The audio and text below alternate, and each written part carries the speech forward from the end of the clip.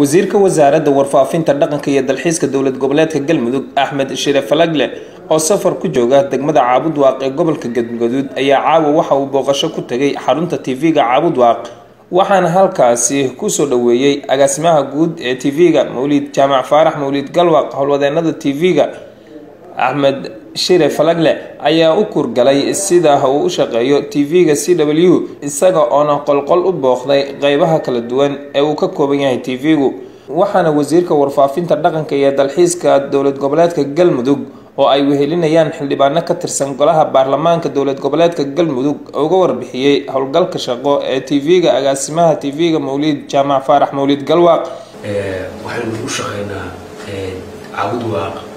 waxaynu sidoo kale u shaqeynaa dhammaan deegaanada galmudug oo aynu baahinaa wararkeeda iyo barnaamijyadeeda sidaan caabudwaaq ugu shaqeyno si la mid ayaynu deegaanada galmudug oga waranaa hadday barnaamij ahaan lahayd hadday warbixino ahaan lahayd horumarkeeda iyo bilicda intaba ugu yaraan dhowr iyo toban wariye baa halkan ka oo tv-ga ka shaqeysa. Qaar kale waxaa jira kanalka ayaguna ka shaqeeya.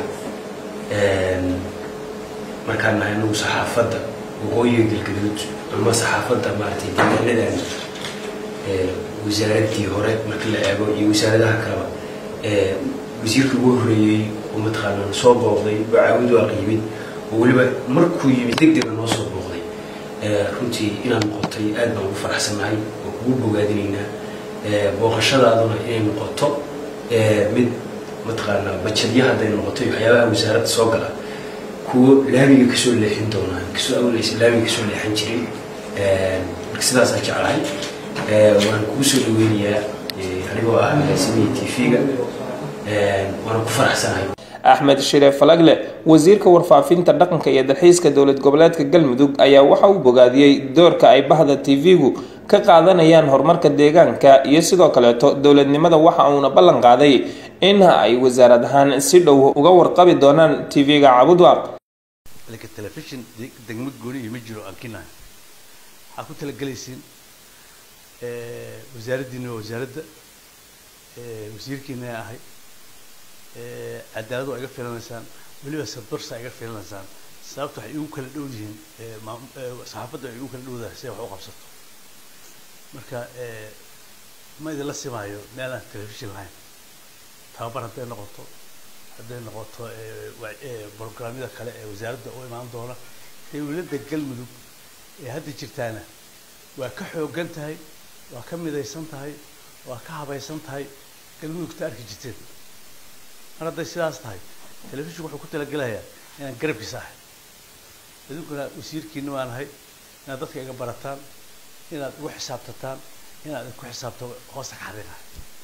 dacawaduha runtii kow iyo labo saddex. Aniga waxaan si leeyahay dhan ka hadla cawaduha waaga ii baryaaya. Waxaan arki jiray sheekh sushaar khayro yihahdo dadkii sharafka ahaa. Anu de waxaan leeyahay war dadka ilbaxa ahaa reer ahaa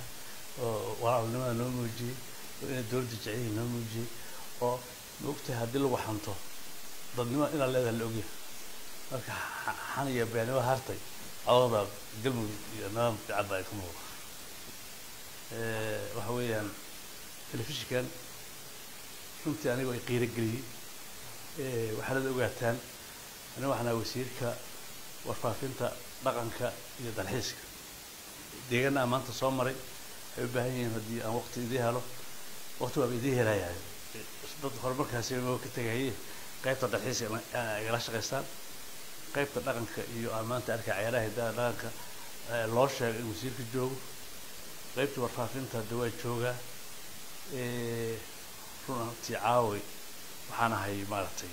maqsuud. Waxaan ku hadlayaa markaan sidaas leeyahay magaca galmudug oo dhan madaxweynaha wakiil uga ahay madaxweynaha wakiil uga ahay dadka dibadaha joogaan wakiil uga ahay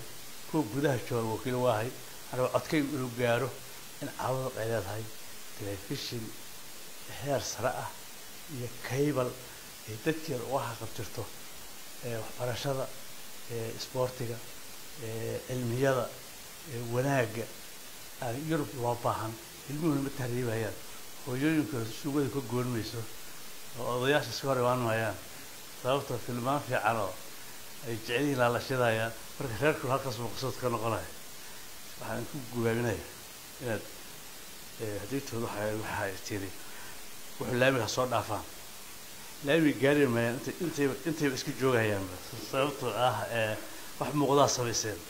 wax muuqdaana wax la siiyaa soo ma maxamed cabdi jalaqsane wararka t v-ga c w degmada caabudwaaq